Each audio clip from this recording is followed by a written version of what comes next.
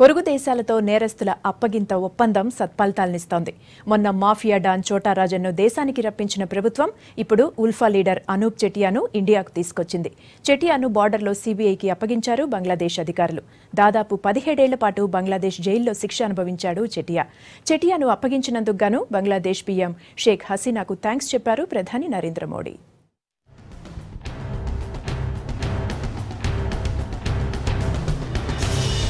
United Liberation Front of Assam terrorist group కీలక నేత మాజీ జనరల్ సెక్రటరీ అనూప్ చెటియాను భారత్కు అప్పగించింది బంగ్లాదేశ్ సర్కార్. భారత్ బంగ్లాదేశ్ సరిహద్దులో చెటియాను అతని ఇద్దరు అనుచరుల్ని సిబిఐకి అప్పగించారు ఆ దేశ అధికారులు.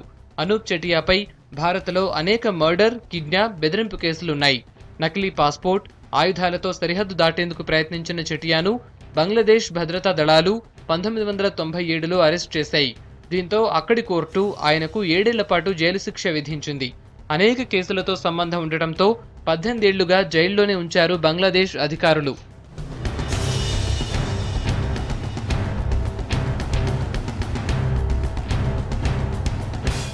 చెటియా బంగ్లాదేశ్లో అరెస్ట్ అయినప్పటి నుంచి దేశానికి తీసుకొచ్చేందుకు ప్రయత్నాలు జరుగుతున్నాయి. కానీ అక్కడి ప్రభుత్వాలు సహకరించకపోవడంతో ఆలస్యమవుతూ వచ్చింది.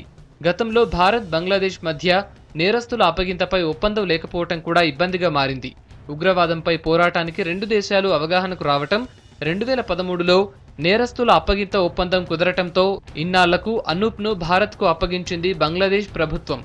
ఉగ్రవాదాన్ని నిరోధించేందుకు కేంద్రం తీసుకుంటున్న చర్యలతోనే అనూప్ అప్పగింతకు బంగ్లాదేశ్ ప్రభుత్వం ఒప్పుకుందన్నారు కేంద్ర హోంశాఖ సహాయ మంత్రి కిరణ్ రిజిజు. అనూప్ చెటియాను ఎక్కడ విచారించాలనేది దర్యాప్తు సంస్థలే నిర్ణయిస్తాయన్నారు. And Anup Chetia was wanted for a long time. And he's a senior leader of the Alpha. And uh, we will be in a position to link in many cases and to uh, crack some of the important cases which uh, the investigation is going on. This is a major achievement after uh, the deportation of uh, Chota Rajan now we got Anup Chetia. So this shows the commitment level of the government. చిటియాతో పాటు మరో ఇద్దరిని అసోంకు అప్పగించాలని CM Tarun Gogoi demand చేశారు రాష్ట్రంలోనే చాలా కేసులు ఉండటంతో దర్యాప్తునకు ఈజీ అవుతుందన్నారు If he comes for talks, it is well and good.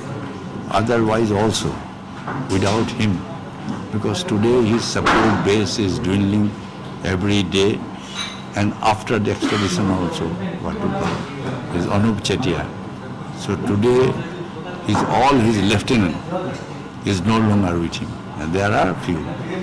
And without, you need some lieutenant, you need some support base in the state.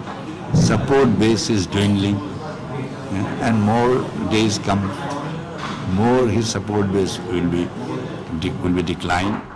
చెటియాను భారత్కు అప్పగించాలని గతంలో బంగ్లాదేశ్ ప్రధాని షేక్ హసీనాతో స్వయంగా మాట్లాడారు ప్రధాని నరేంద్ర మోడీ ఎట్టకేలకు చెటియా భారత్కు రావడంతో షేక్ హసీనాకు ఫోన్ చేసి థ్యాంక్స్ చెప్పారు ప్రధాని మోడీ.